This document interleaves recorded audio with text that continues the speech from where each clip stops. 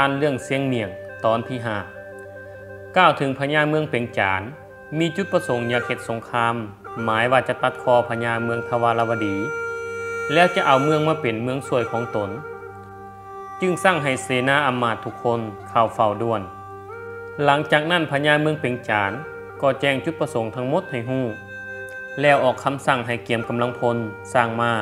พร้อมด้วยอาวุธยุทโธปกรณ์ให้เพียบพร้อม เมื่อได้เลิกงามยามดีแล้ว พวกเขาก็นำเอากองกำลังออกเดินทางมุ่งหน้า เข้าบุกโจมตีเมืองทวารวดีทันที พวกเขาใช้เวลาอยู่หลายมือจึงไปหอดเขตเมืองทวารวดี ประชาชนแห่งเมืองทวารวดี เมื่อหูข่าวก็แตกตื่น อกสั่นขวัญหาย จึงเฝ้าเข้าเฝ้าพญาเมืองให้หับหูทันที เมื่อพญาเมืองทวารวดีหูข่าว ก็สั่งให้เสนาอมาตย์เข้าเฝ้า พื่อวางแผนหับมือ และพิชิตขาศึกแบบหิบด่วน สร้างให้มีทหารหักษาทางเขาออกเมืองทุกด้านแบบเข่งขัด แล้วสร้างให้แสนเมือง กะเกี่ยมกองกำลังพลสร้างมาให้ครบเครื่อง ประกาศให้ชาวเมืองทุกๆคน เกี่ยมพร้อมระวังโต หากภัยคัดคืนคำสั่ง นอกหูนอกทางให้คาทิมโลด แสนเมืองได้ถามพญาว่าเสียงเมียงเดจะเห็ดแนวใดให้กะเกียมออกซึก หรือจะให้อยู่เฝ้าเมืองสวยพระองค์พญาคิดอยู่ดนเติบจึงตัดสินใจว่า เสียงเมียงนี่เป็นคนมีพญาปัญญาดี ควรให้ไปช่วยออกแผนปราบขาดซึก บางที่อาจจะได้ไซสนะแบบบ่ต้องเสียเลือดเสียเนื้อก็เป็นได้พญาได้สั่งย้ำอีกว่า ให้เสียงเมียงเป็นคนออกหนาพาทาง หากเสียงเมียงเว้าแนวใดถูกคนต้องปฏิบัติตามมันบ่ว่าเรื่องใดก็ตามก้าวถึงเสียงเมียง หลังจากออกบวชเป็นพระเพื่อการแก้โจทย์ปัญหาแล้ว พอมือต่อมากลาสิกขามาอยู่เฮือนำเมีย ถึงแม้นว่าเสียงเมียงจะได้บวชฮดเป็นถึงขันพระครูก็ตาม เมื่อซิกออกมาก็บ่มีไผห้องว่าจานเสียงเมียง ปานว่าบ่ได้ฮดสงเลย เขายังพากันเอื้นว่าเสียงเมียงคือเก่า เมื่อเซนาไปบอกให้เสียงเมียง ไปเข่าเฝ้าพญาเป็นการด่วน เสียงเมียงก็บอกคัดขืนเฝ้าเข่าเฝ้า และทูลถามพญาว่า มีเรื่องอย่างให้ขน้อยหับใส่บอพญาก็บอกให้หู้เรื่องเหตุบ้านการเมือง พร้อมทั้งยังแต่งตั้งให้เสียงเมียง เป็นผู้นำหน้าพาทาง ขบวนสู่หบครั้งนี้ เสียงเมียงเมื่อได้หับเอาคำสั่งจากพญาแล้ว ก็กลับเมือเฮือน พร้อมทั้งคิดว่าพญาผู้เป็นอ้ายเห็นว่าตนเองมีพญาปัญญาดี จึงวางแผนให้ตนเองไปตายในสนามหก เสียงเมียงบอกกับตนเองว่าเด็ดขาดจังใดก็บ่ยอมตายละล่า เพราะบ่แม่นหมูแม่นหมาจะมาบอกให้ไปตายแนวใดก็ไปมด เป็นถึงขั้นน้องพญาก็พอมีพญาที่จะเอาตัวรอดอยู่ดอก จะยอมโง่เฮ็ดหยังหลังจากกลับมาเฮือน เสียงเมียงจับได้ผ้า แล้วก็มุ่งหน้าเข้าไปตัดเอาไม้ไผ่เมื่อได้เพียงพอกับความต้องการแล้ว ก็แบกเอามากองไว้ข้างเฮือน นอนพักผ่อนแบบสบายใจ จนฮอดตอนง่ายจึงตื่น หลังจากนั้นก็เฝ้าจักตอกสันกวย เสียงเมียงนั่งสันกวย อยู่ในกวยแบบบ่ฮอนบ่ฮนพญาให้คนหับไส้ไปนำเอาตัวเสียงเมียงมาด่วน เพื่อเกียมออกสู่สนามหก มันก็บอกคนหับไส้พญาว่ายังสารกวยบ่แล้วสิให้ไปได้แนวใด พวกสู่กลับไปทูลพญาว่ายังสารกวยบ่แล้ว ขอให้เพื่อนเห็นอกเห็นใจแด่ถ้าสารกวยแล้วจะหีบไปทันทีโลด วกคนหับไส้ก็กลับไปทูลพญาตามเสียงเมียงบอกพญาได้ฟังก็เห็นใจ จึงยืดเวลาให้ แต่รอถ่าดนก็บ่เห็นมาพญาจึงสร้างให้คนไปน้ำอีก เสียงเมียงก็ยังว่าว่าสารกวยบ่แล้ว และยังว่าอีกว่า ตัวเฮาเป็นน้องพญาผู้หยดใหญ่ และมีพญาปัญญาหลายจำเป็นต้องได้สารกลัวใหญ่ๆให้ได้แปดอุ้ม เพื่อจะได้ใส่พญาให้น้ำไปได้มด ถ้าหากเฮาเป็นประชาชน ธรรมดาสามัญเฮาก็จะสารกลวยน้อยๆ และคงจะสำเร็จแต่โดนแล้ว อันนี้เฮาสารให้มันสมเสื้อสมแสงของผู้รักผู้ใหญ่ เมื่อได้ยินแนวนั้น คนหับใส่ก็กลับคืนไปทูลต่อพญาว่า เสียงเมียงยังสารกลวยบ่ทันแล้ว มันว่าเป็นน้องของพระองค์ ก็ต้องเห็ดกลัวใหญ่ๆ จึงจะสมหนาสมตา ถ้ากลวยแล้วจะหีบเข้าเฝ้าโลด หู้แล้วว่าจะได้ออกตีซึก ฝ่ายพญาเมื่อได้ฟังเรื่องสารกวยใหญ่ ก็อดหัวบ่ได้ทั้งจมว่าศัตรูมันสิเข้ามายึดเอาเมืองในมอมอนี่แล้ว เป็นหยังมันจึงเอาแต่สารกวยมาอ้าง บ้านเมืองเลยสิสูญเสีย เพราะมันคาแต่น้ำสารกวยอันนี้กำลังทั้งหมดก็ได้เต้าโฮมกันแล้ว จะออกสู่สนามหบก็ออกบ่ได้ถ้ามันสารกวยอยู่บ่แล้วจักเถื่อจักว่ามันสีสารไปหยังกระดักกระดอ เสียงเมียงก้มๆเงยๆลุกๆนั่งๆ อ้อมไปเวียนมาสารกลวย ในที่สุดกลวยนั่นก็ใหญ่ขึ้นจนได้แปดอุ้ม เสียงเมียงได้ใช้เวลาสารอยู่สามมือสามคืนพอดี เมื่อสารสำเร็จมันก็เอาสายเสือกมาหมัดเห็ดสายเป้ แล้วก็เอาห่อเข่าเท่ากำปั้นถิ่มลงใส่กลวย หีบเฝ้าเข้าไปเฝ้าพญา เสียงเมียงว่าว่ามดเข่าเท่านี้จะต้องกลับคืนบ้าน มันยังเว้าขี้คุยว่า ซึกซ้ำนี่มาหาวยาน อยากให้มันง่างแผ่นดินมาพุ่นแล้วขั้นบ่มีไผสู่ กูจะสู่คนเดียวเอง ตอนเสียงเมียงเป้กวยย่างไปตามทางชาวบ้านพากันท่วงแซวๆขึ้นว่า อันนี้มันใหญ่เกินฮีดของกวย ผู้เป้กวยนั่น มันบ่แม่นคนเมืองเฮาดอก มันแม่นผีอิตาทึมสิได้บ่ฮู้เสียงเมียงเป้กวย เซซ้ายเซขวาไปหน้าบ่ยุดบ่เซาเด็กน้อยแล่นน้ำหลังยับยาบ บางคนย่านแล่นปบหนี แตกสะนโม ห้องหาอีพ่อแม่แซวๆบางคนขี้ดื้อแด่ก็เว้าหยอกเสียงเมียงว่า ลุงเป้ลงไปเฮ็ดหยังน้อแต่เสียงเมียงก็บ่หัวซานำคำเว้านั้นเลย มันทั้งย่างทั้งจมไปตามทางว่า อันพญาเอามาซ้ำนี้ก็จังแม่นยากซาแท้หนอคันหากกูคนมาทั้งหมด มันสิบพิลึกกว่านี้บ่มันแม่นพญาแนวใดสิฆ่าฮอดตัวเอง เมื่อเสียงเมียงไปฮอดพญาจึงอนุญาตให้ทุกคนออกเดินทางสู่สนามหบ โดยแม่นเสียงเมียงเป็นคนเป้กวยออกนำหนาพาทาง เมื่อไปฮอดทางแคบเฮ็ดให้ขบวนทั้งหมดยุดจึกกับที่ จะไปหน้าก็ไปบ่ได้เพราะค้ากวยเสียงเมียงตันทาง ขบวนทั้งหลังแย่ขึ้นไปอังออกัน คนอยู่ทั้งหลังห้องดาว่า เป็นยังบ่เฝ้าขึ้นไปเซึกเข้ามาใกล้แล้วเฮ็ดยังอยู่ ฝ่ายกองหน้าก็ห้องตอบว่าค้ากวยเสียงเมียงไปบ่ได้ ตาแตกสู่บ่เบิ่งบ่บ่จักเสียงป้อยเสียงด่า ดังสนั่นวันไหว กวยตายห้าอีหยัง มาใหญ่ลื่นบ้านลื่นเมืองเพิ่นแท้ มันเอามาเฮ็ดหยัง มันสร้างมาเหตุเกินฮีตบ้านของเมือง บางคนก็ว่าว่าขั้นบ่แม่นน้องพญาจะตัดคอถิ่มรถละ จากนั้นไผก็พากันดึงกวยออกจากทาง เสียงเมียงก็ล่มพุบลมภาพไปน้ำกวย จนทรงเสื้อลุดออกจากโต เหลือไว้แต่หำอ่อนตอน เสียงเมียงเฝ้าลุกขึ้น แล้วคาบออกกวย เอียงไปเอียงมา การออกซึกครั้งนี้เฝ้าบ่เป็นเฝ้าขาดซึกยิ่งใกล้เข้ามาแล้ว พวกเขาจึงพากัน ทั้งฟันทั้งเตะกวย หวังให้มันมุนแต่กวยนั้นยังตันทางเทเลอร์อยู่คือเก่า เมื่อเห็นว่าบ่ได้การแนวนั้น จะทำให้เสียงเมียงก็คัดขืนคำสั่งพญา เพราะพระองค์ได้แต่งตั้งให้มันเป็นผู้นำหนาพาทาง แสนเมืองจึงต้องกลับไปแจ้งให้พญารับรู้พอแต่พญาได้ยินว่ากองทัพกำลังทหาร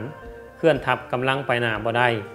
ต้องได้พากันยุดเพราะค้ากวยเสียงเมียงตันทางพระองค์ก็ยังให้ขึ้นทันทีทั้งกระวนกระวาย บ้านเมืองจะเสียย้อนบักเสียงเมียง คิดอยากตัดคอเสียงเมียงทิมแต่นึกได้คำพ่อสั่งเสียก็เลยใจอ่อน พญาจึงมีคำสั่งให้เสียงเมียงกลับคืนบ้าน เมื่อแสนเมืองได้รับคำสั่งจากพญาก็ฟ้ามาบอกให้เสียงเมียงกลับเมืองเฮือน เสียงเมียงทำท่าว่าเป็นห่วงเป็นใยบ้านเมือง คิดว่าจะไปต้านซึกเคียงบ่าเคียงไหลกับพวกทหาร โดยจะใส่พญาปัญญาที่มีพิทักษ์รักษาบ้านเมือง แต่น่าเสียดายพญาปัดสั่งให้เฮากลับคืน อันที่จริงแล้วก็บ่อยากกลับคืนบ้านดอก แต่เป็นคำสั่งของพญาอายจึงบ่อาจคัดขืนได้ฟูงเสนาทั้งหลายได้ยินเสียงเมียงโอ้อวดสหาว ก็พร้อมกันด่าปล่อยไล่หนีให้มันหีบกลับบ้านเมืองไวๆบ่อยากเห็นหน้าเมื่อเสียงเมียงกลับคืนบ้านแล้ว ขบวนทัพของเมืองทวารวดี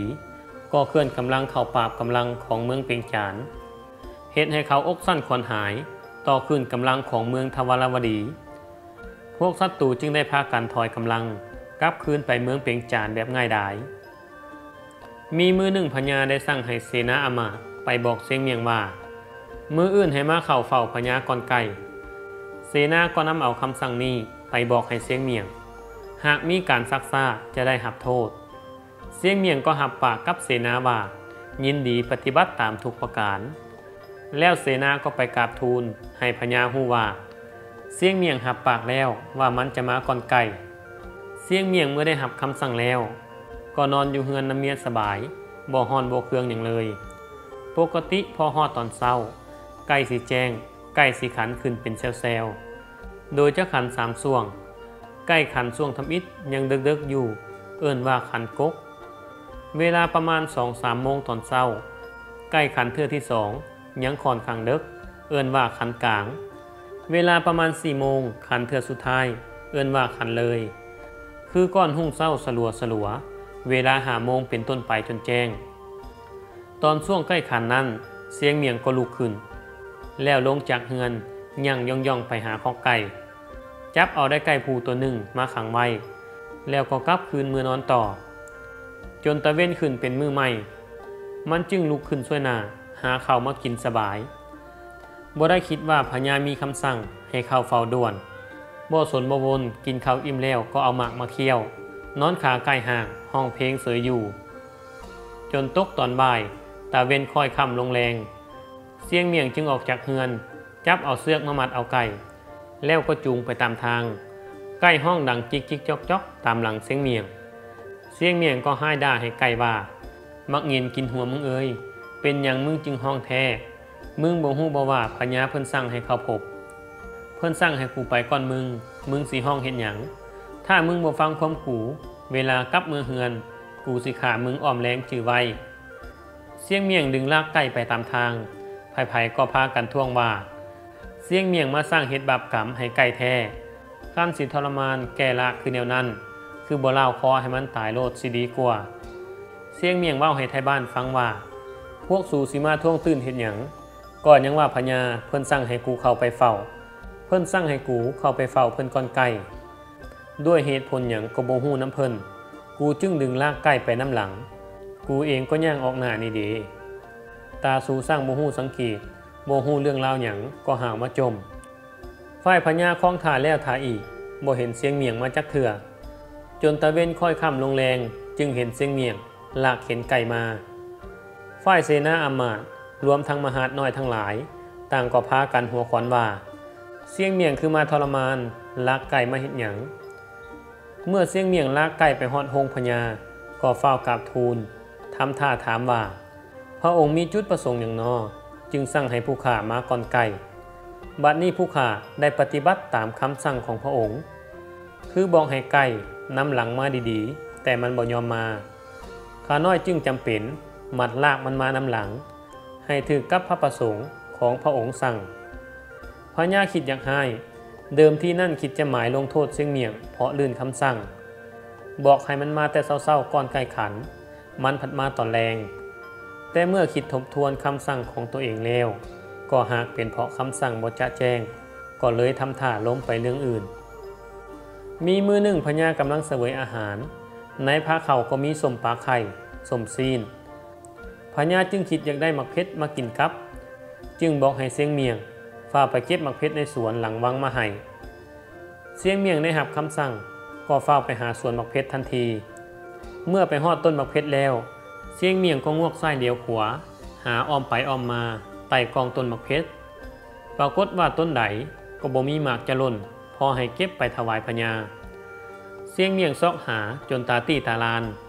เอาพดไม้ไปปัดซอกหาก็บ่เห็นหน่วยล่น เสียงเมียงที่นอนเอาขาใกล้ห่าง ผิวปากวอดวอด นอนถ่าล้มผัดต้นมักเพชรให้หน่วยมันล่นลงดิน แล้วจึงจะเก็บเอาตามพญาสั่งฝ่ายพญาคล้องถาเสียงเมียงอยู่พาเขามิจิลีบ่เห็นเสียงเมียงเอามักเพชรมาถวาย พระองค์เป็นห่วงยันว่าจะเกิดอันตรายกับเสียงเมียง เพราะว่าออกไปดนแล้วก็บ่เห็นมา ดังนั้นพระองค์จึงสั่งให้คนไปน้ำเบิงพอคนหับไส้ไปหอด ก็เห็นเสียงเมียง นอนขาไกลห่าง ผิวปากฟอดวอดอยู่ คนหับไส้จึงถามเสียงเมียงว่า เป็นอย่างจึงมานอนสบายอยู่นี่หู้บ่ว่าพญานั่งทามักเพชรเสวยกับอาหารอยู่ เสียงเมียงมาโง่มาเงลุกขึ้นนั่ง แล้วบอกคนหับไส้ว่าสิให้เก็บอยู่ใสมักเพชรบ่เห็นล้นจักหน่วยเรือแห้งซอกแล้วก็บ่มี จึงจำเป็นต้องนอนท่าให้ล้มพัดต้นมักเพชรล้นแล้วจึงจะเก็บไปถวายพระองค์ อันมักเพชรนั่นมีหลายแท้แต่ยังคาอยู่ต้น ขันพระองค์สร้างให้มาปิดเอาอยู่กับตน แม่นมันได้แต่โดนแล้ว ถ้าแม่นสิปิดเอา ก็ย่านเป็นการฝืนคำสั่งของพระองค์ ย่านว่าจะได้หับโทษโพยตามภายหลัง คนหับไส้โบซาความยากจึงปิดเอาหมักเพชรได้กำหนึ่ง แล้วก็เฝ้าเอาไปถวายพญาเสวยกับสมป่า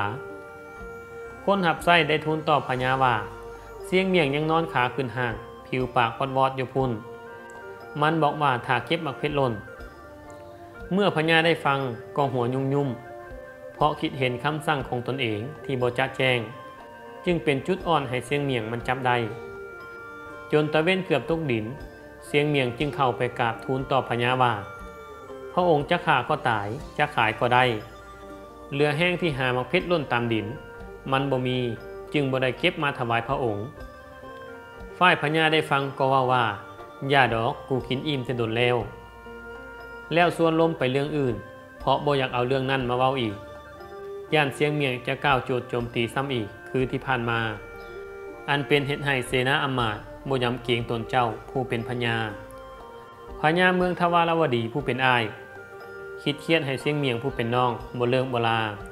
จึงซอกทุกวิธีทางเพื่อสีเอาชนะเสียงเมียงให้ได้ มือหนึ่งพญามีคำสั่งให้เสนาอำมาตทั้งหลายห่างหากะเกียมขบวนออกเที่ยวลินป่า และสร้างให้เสียงเมียงไปน้ำพร้อม เมื่อได้เวลาแล้วขบวนก็เคลื่อนไปสู่ป่าพญานั่งอยู่เทิงหลังสร้าง มีเล่าเสนาอมาตมหาน้อย พร้อมคนหับไส้แห่เป็นขบวนแบบคับคานาแน่น บางคนก็ตีกองห้องเพลงสร้างความมูลซื่นไปนำเพื่อเป็นการถวายความสุขให้แก่พญาพ่อขบวนแห่ไปหอดกลางป่าแห่งหนึ่ง ก็ได้ยุดพักเซา พื่อชมความงามของทิวทัศน์ธรรมชาติในป่าดงแห่งนี้มีหนองใหญ่หนองหนึ่ง มีน้ำอ่างเต็มอยู่หนอง เมื่อพญาแนมเห็นหนองนั้น ก็คิดอยากลองพญาปัญญาเสียงเมียงหวังว่าเทื่อนี้จะเอาชนะเสียงเมียงให้ได้พญาจึงเอ่ยขึ้นว่า เสียงเมียง หากมึงมีพญาปัญญาเก่งแท้ลองตัวกูลงหนองน้ำนี้เบิ่งดู เสียงเมียงคิดอยู่บ่พอข่าว ก็ตอบพญาว่า ท่านพญาอ้ายเอ่ยเก่งก็เก่งอยู่ดอก เรื่องพญาปัญญานั้น แต่สิให้ผู้ขาตัวพระองค์ลงหนองนั้น ก็บ่สร้างสิตัวแล้วคันแม่นว่าตัวให้ขึ้นจากหนอง บางเทื่อพอสิตัวได้อยู่ฝ่ายพญาคิดบ่ถึงกลหลอกของเสียงเมียง พอจะได้ยินว่าตัวให้ขึ้นจากหนองนั่นพอได้พญาจึงจันจ้อถามเสียงเมียงว่า มึงตัวขึ้นได้แท้ๆบอเสียงเมียงก็ตอบแบบเฉยๆว่า ก็ร้องเบิ่งหันแล้ว เมื่อเป็นแนวนั้นพญาก็เฝ้าปุ๊บปั๊บลงจากหลังสร้าง แล้วก็ย่างลงสู่กลางหนองทันที พอลงไปแช่อยู่ในน้ำแล้ว จึงเอินหาเสียงเมียงว่า บาดนี้กูลงมาแล้ว มึงหีบตัวกูขึ้นร้องเบิ่งดู เสียงเมียงแนมลงไปเบิ่งพญาอยู่กลางหนอง ก็หัวขวัญใส่คดใส่โขอยู่แคมฟังแล้วว่าว่าข้าน้อยตัวพระองค์ลงแล้วเด๋บาดนี้สิขึ้นหรือบ่ขึ้นก็ตามใจ หากบ่อยากนาวตายอยู่กลางหนองนั่นก็ขึ้นมาเองพญาบ่สร้างสีว่าแนวใด จึงคอยย่างขึ้นจากหนองเองเฮ็ดให้พญาอับอายคายหน้าเสียหน้าเสียตาที่บ่ทันหัวเสียงเมียง คิดว่าสิลองพญาปัญญาเสียงเมียง แต่กลับมาถึงเสียงเมียงตัวลงหนองพญาได้แต่เครียดแค้นอยู่ในใจ และคิดว่าบ่มือใดก็มือหนึ่งเสียเอาคืนเสียงเมียงให้ได้ เทื่อนี้มันมาเฮ็ดให้เฮาเสียหน้าเสียตาแท้ๆ มันบอกว่าตัวขึ้นจากหนองนั่นพอได้ แต่บัดเฮาลงหนองแล้ว มันกลับนั่งหัวควันเฮาแบบสบายใจ หลังจากพญาขึ้นจากหนองแล้ว ก็พาเสนาอามาตย์กลับคืนสู่เมืองบ่เดินทางเที่ยวดงพงไพ่ต่อไปพญาได้จะนั่งคิดในห้องโฮงของตน เรื่องหาวิธีแก้พญาเสียงเมียงคืน นี่ก็คือเรื่องเสียงเมียงตอนที่หาการตัวเป็นสิ่งบดีบอกควรเอาเป็นแบบอย่าง จงหับส้มและหับฟังเพื่อความเพลิดเพลินและมวลซื่นเท่านั้น ฝากกดติดตามไว้ เพื่อจะบ่พลาดนิทานเรื่องเล่าตอนต่อไป